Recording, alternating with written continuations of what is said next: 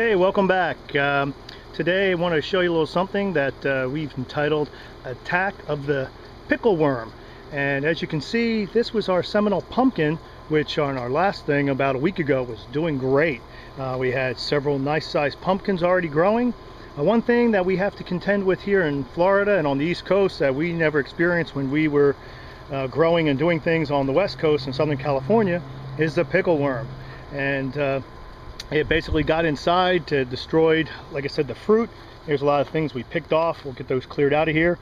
Here's a bucket full. I put some bleach solution in that and cut it to you know kill them off but I want to cut them open and get some still shots so we could share.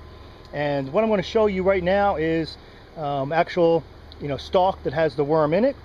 And we originally thought it was the squash vine uh, borer but again these are slightly green and uh, they started more in the flowers and in the fruit and then went into the vines. And the uh, squash vine borer is more of a white color. And these have actually attacked our zucchini and our yellow squash. Luckily we got a nice harvest before they got in here. But uh, we're going to try a few things, see what we can do um, to counter them. And maybe you know next year we'll be on the lookout a little sooner and see if we can get a better crop.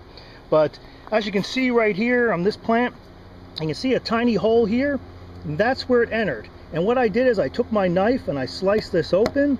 And let me see if I can show you here real quickly. As soon as I open it, you're going to see this worm moving around. And there he is there with the brown head. He's trying to crawl back in.